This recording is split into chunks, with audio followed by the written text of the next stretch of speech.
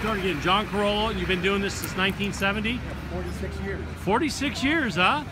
Can you give me the short version of the, the original Carson men that came through?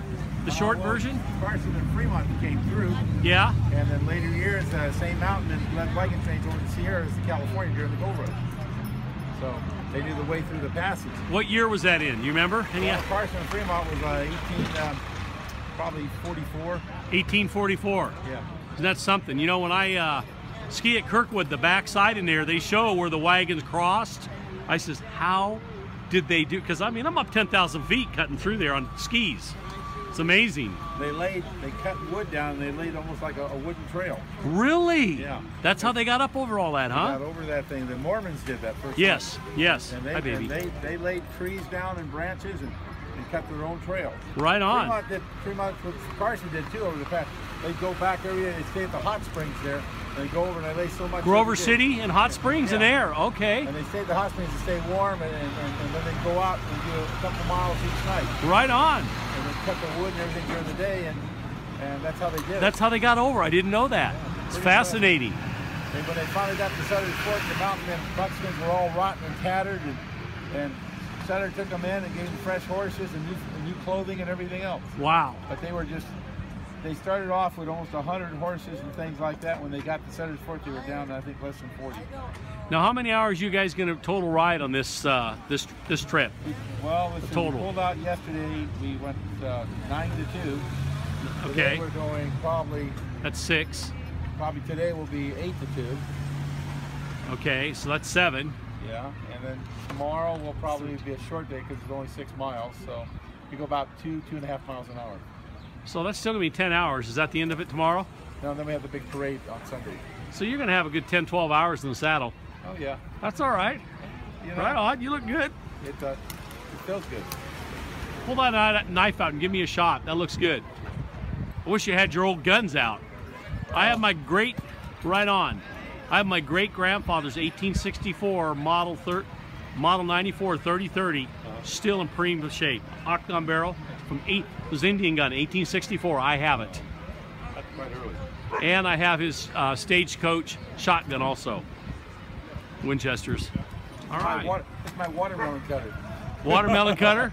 Great for watermelon. Right on. End of the trail, we always have a nice watermelon. Now, are you guys uh, you wearing buckskin there? It looks like Yeah, we're part of the Kit Carson Mountain Man Club. And uh, been around since 1937. 1937. John Wayne, John Ford, Ronald Reagan, they were all members of our club. That's great. Yeah, they kept the, we keep the Western tradition alive. It's good to see. The wagon train is the greatest recruiting mechanism for new mountain men. Well, Sarah and I, she's around here somewhere, young reporter. There she is. We've been uh, working with um, the wild horses, the wild Mustangs in Nevada. We're doing some real big stuff on that right now. There have been wild Mustangs rescued here and actually put on wire wagon trains. Well, we are a big advocate for that and got some big stuff coming out. Keep watching. Okay. We, we uh, I interviewed Lacy Dalton. She was in concert here. Yeah. What a great lady last week, and she really opened her eyes up. Concert here. Right here, and I.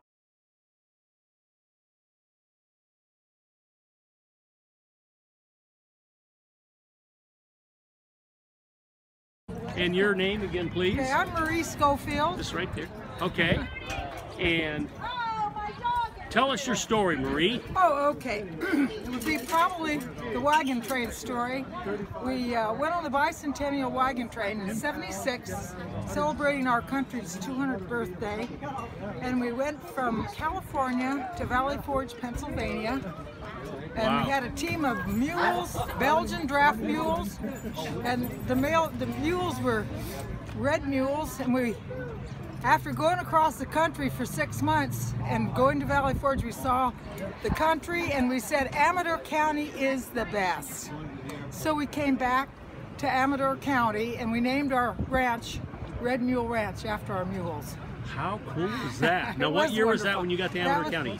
We got back in, well, it'd be 77 when we came back. 77. Yeah.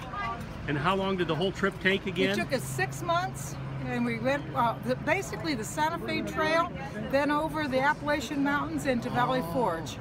Yeah, What a great story. it was great. It was a wonderful. We've got a wonderful country. Yes, we do. Thank you for sharing and doing all this. We really enjoy it. I've enjoyed chasing the airplane a little bit. I tried not to scare those horses. We've enjoyed looking at you up there Good. too. All right. Thank you.